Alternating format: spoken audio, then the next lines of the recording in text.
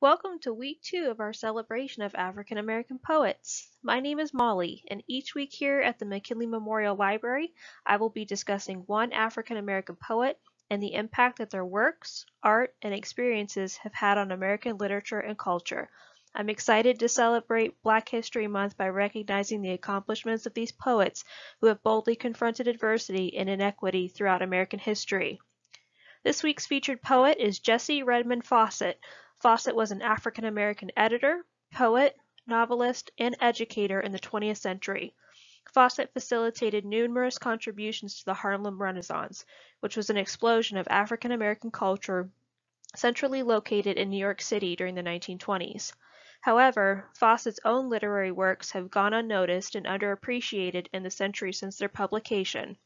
Fauset's emphasis on sentimentality and individuality in her poetry necessitate a closer look at her work. Let's get started with Fauset's biography and some historical context for her poetry.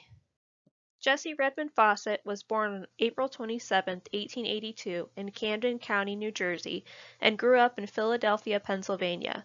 She received a scholarship to study at Cornell University, where she was one of the first African American female students and graduated with a Bachelor of Arts in Classical Studies in 1905.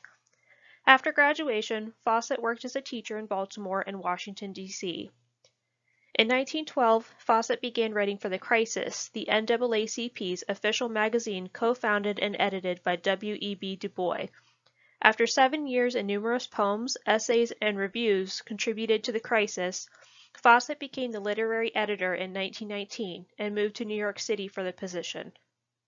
In addition to publishing her work in the crisis, Fauset also published several novels during the 1920s, including There is Confusion in 1924 and Plum Bun in 1928.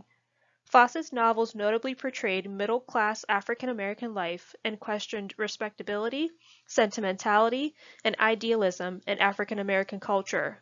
Many of the portrayals in Fauset's novels are still applicable to contemporary society. Fauset left the crisis in 1926 to teach high school French in the Bronx. She married businessman Herbert Harris in 1929, and the couple moved to New Jersey and lived there until Harris's death in 1958. Fauset returned to Philadelphia and lived there until her death on April 30, 1961. Pictured here is the portrait of Fauset that resides in the Smithsonian. Looking over Fauset's biography, much of her life was lived teaching and directing others towards literary prestige, particularly during the Harlem Renaissance. I want to take a moment to provide you with some historical context and background information on the Harlem Renaissance and the movement's influence on African American culture after World War I. The movement wasn't confined to the Harlem district of New York City.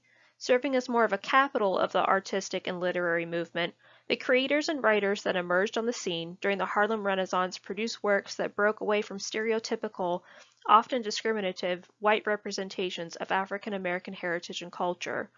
Moreover, writers fought against racist beliefs and disrespect of their lives, effectively laying the groundwork for an African American collective consciousness and a greater understanding of their cultural heritage and relationships with each other.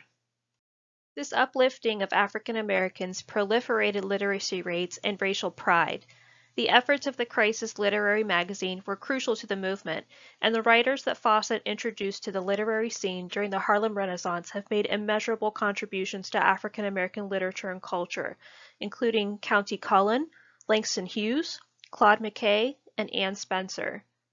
Fauset's ushering in of creative and artistic expressions from writers during the Harlem Renaissance was an act that she unfortunately did not receive much credit for. As we study African American literature, it is important to also discuss the feminine perspective with racial perspectives within the works of the 20th century. Fauset hasn't had anyone to champion her work since their publication nearly 100 years ago, and many contemporary authors and critics are not familiar with her work. In an article published by New Yorker Magazine in 2017, Morgan Jerkins relates that women writers during the Harlem Renaissance were slighted during the celebration of the literary movement. Literary critics of the time, such as Alain Locke, who Fauset held in contempt for more than a decade, commented that the feminine perspective during the Harlem Renaissance lacked an adequate amount of social commentary.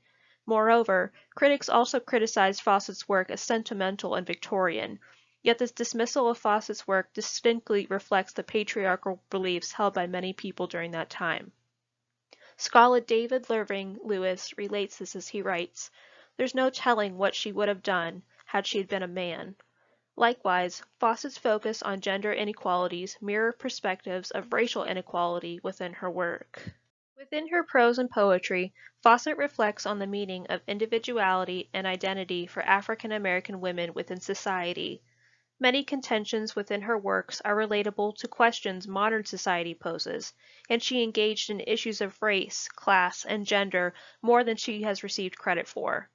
Fauset questioned whether individuality was reserved only for whites and if African Americans had to reflect on the larger ideals of their community, writing in a 1922 essay that judgment and oppression from the white community resulted in a quote, a stilted art and a lack of frank expression on our part. These contentions on the feminine perspective and racial inequality are illustrated in Fauset's poem Oriflamme, which is the French word for a banner, symbol, or ideal inspiring devotion or courage that we will read and explicate next. Published in January of 1920, Fauset's poem begins with a recollection from Sojourner Truth, who Fauset regarded as a mentor. First, let's read through Truth's recollection and Fauset's poem in their entirety. I can remember when I was a little young girl, how my old mammy would sit out of doors in the evenings and look up at the stars and groan, and I would say, Mammy, what makes you groan so? And she would say, I am groaning to think of my poor children. They do not know where I be, and I don't know where they be. I look up at the stars, and they look up at the stars. Sojourner Truth. I think I see her sitting bowed in black, stricken and seared with slavery's mortal scars, reft of her children, lonely, anguished, and yet still looking at the stars. Symbolic mother, we thy myriad sons, pounding our stubborn hearts on freedom's bars, clutching our birthright, fight with faces set, still envisioning the stars. Now let's look at an explication of the poem. Before we begin, I want to take a moment to state that the following interpretation is just one interpretation of Fauset's poem and is in no way a definitive reading. That's the beauty of the subjectivity of poetry. Our experiences, including our race, affect how we interact with and interpret poetry. So what do I mean when I say an explication? An explication is an analysis of a literary work, in this case Fauset's poem, that gives a detailed explanation of the poem itself. We are going to look at Fauset's poem from the feminist and new historicist perspectives, meaning we connect Fauset's poem with the cultural and political movements of her time versus our time. We will see that Fauset's poem is a reflection on two sentiments, the feminine conscience of enslaved women and the personal and greater cultural ramifications of slavery. Let's look at Fauset's poem line by line.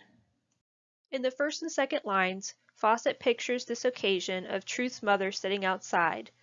The word bowed allows us to picture her physical appearance, hunched over both with age and the effects of years of strenuous labor, and with the weight of the oppression that Truth's mother experienced as an enslaved woman.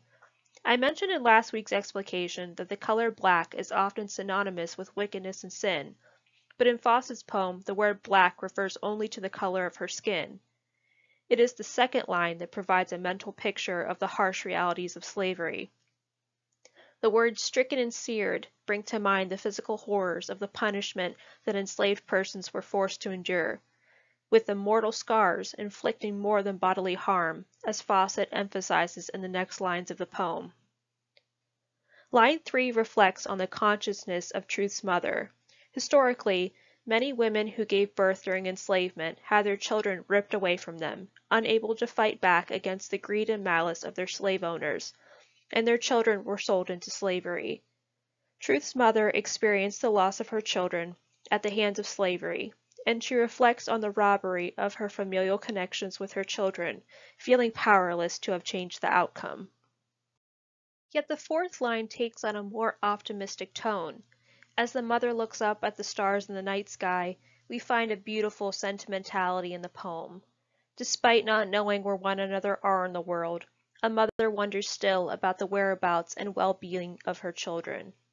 This reflection on the interior of the mother's mind is a modernist aesthetic in poetry, and in turn, Fauset takes the mother's anguish and makes it universal to all African Americans, those formerly enslaved and those born free, in the fifth line of the poem. Fauset reckons Truth's mother as the symbolic mother of all African Americans, and it follows that every African American is one of her children continuing to fight for justice and equality. The last three lines in the poem are raw and powerful. The stubbornness of African Americans in line 6 speaks to the struggles and triumphs of fighting against racism and the prejudices that threaten to metaphorically bar them from freedom. Moreover, Fauset asserts that freedom is a birthright for all African Americans, and as a community they are willing to fight against any threat to their freedom as American citizens. The last line of the poem harkens back to the optimism of the fourth line, as the words, still envisioning the stars, beckon a brightened future for all African Americans. Within her poem, Fauset brings the historicism of slavery in with the sentimentalism of African Americans at the turn of the century. Understanding that African Americans in the 1920s were affected by a dual consciousness in a society that continued to discriminate against them, Fauset writes Oriflamme as a commemoration of the self-reflections and collective confidence of a community on the brink of equally momentous literary and cultural achievements. Primary works written in the time of the Harlem Renaissance are incredibly insightful when we examine the literary and cultural works of the African American community following the Reconstruction period but before the Civil Rights Movement. If you are interested in reading other works of African American literature similar to Jessie Redmon Fauset's poetry, we recommend Their Eyes Were Watching God by Zora Neale Hurston, which at one point was out of print for 30 years following audiences' rejection of the strong African American female protagonist, and is now considered a classic of the Harlem Renaissance and one of Hurston's best-known works. Cane by Jean Toomer, a pioneering text of the Harlem Renaissance. Detailing the lives of African Americans living in the Jim Crow rural South, Toomer's work combines poetry, prose, and play-like dialogue in this piece of modern American literature. The Souls of Black Folk by W. E. B. Du Bois. As one of the most influential works in African American literature, Du Bois' essays on race relations lay the groundwork for the civil rights movement. Bronze, a Book of Verse by Georgia Douglas Johnson, focuses on issues of gender and racial justice. Some of the more powerful poems within this collection were featured in issues of the Crisis magazine. Join us next week, Wednesday, February 17th, as we discuss the work of Gwendolyn Brooks. Brooks was a mid-century African-American poet, novelist, and teacher, and we will be taking a closer look at her contributions to the Chicago Renaissance, another literary movement during the 1940s and 50s. Thank you so much for watching and following along with all the ways that African American poetry deepens our understanding of American history and enriches our culture. You can visit our website and our social media profiles for more information on programming and services that we have available to you. Do you have a question about today's explication? Leave a comment below. Take care, everyone.